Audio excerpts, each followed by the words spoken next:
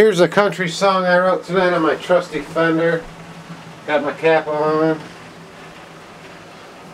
It's a little country song I wrote.